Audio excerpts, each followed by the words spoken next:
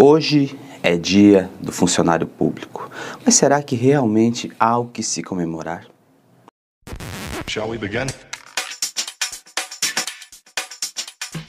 Eu sou Jack Ferraz, servidor público federal, com muito orgulho, cara, apesar de tudo, nesse vídeo eu tô aqui para homenagear você, meu amigo, servidor público, e também você que está estudando para ser um funcionário público, futuro servidor, que vai ser meu colega, com certeza, porque hoje é o dia do funcionário público, e apesar de todos os problemas, toda a discriminação que o funcionário público tem sofrido nos últimos anos, nós estamos aqui firmes e fortes para servir a população. Há exceções, claro que há exceções, há pessoas que realmente não estão nem aí para nada, mas a grande massa, a grande maioria dos funcionários públicos, principalmente os concursados, estão aqui para servir a população. Eu vou passar aqui um videozinho que com certeza reflete muito essa conduta do servidor público no Brasil. Dizem que os servidores públicos são privilegiados, preguiçosos, Teve até quem os chamou de parasitas. Mas onde estão os servidores públicos?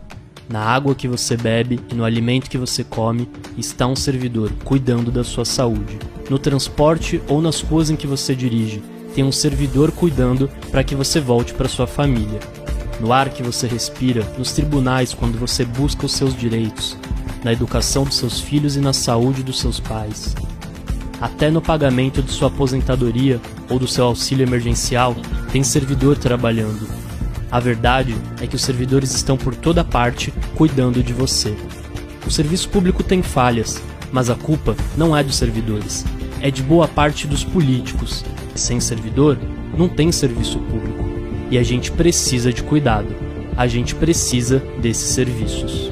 É isso aí, então. Esse vídeo eu peguei da página Não a Reforma Administrativa no Facebook, também tem o perfil no Instagram, vou deixar aqui para você dar uma olhada. Com certeza vai ser muito útil para você, muitas informações relacionadas à reforma administrativa. Você que está aí preocupado com a reforma administrativa também, calma, cara. Aquela PEC 32 realmente é horrível, tem muita coisa errada, mas o Congresso já está propondo emendas para alterar aquelas partes mais cabulosas, tipo trainee, pá, e logo, logo eu vou fazer um vídeo aqui nesse canal mostrando para você quais as emendas que os parlamentares estão fazendo para que não seja tão ruim assim para o funcionalismo público a reforma administrativa, que tende a ocorrer sim, mas tem muita coisa nela que precisa ser alterada, principalmente na PEC 32 lá, e o Congresso já está se mexendo para fazer isso, porque nós vivemos em uma democracia, não existe apenas um poder que manda e desmanda, nós temos três poderes, legislativo, judiciário e executivo, todos em harmonia. Felizmente, ainda vivemos em uma democracia no Brasil, meu amigo. Mas não é só de más notícias que a gente vive. Hoje, por ser do servidor público, o Gran Curso Online disponibilizou 50 50% de desconto em qualquer curso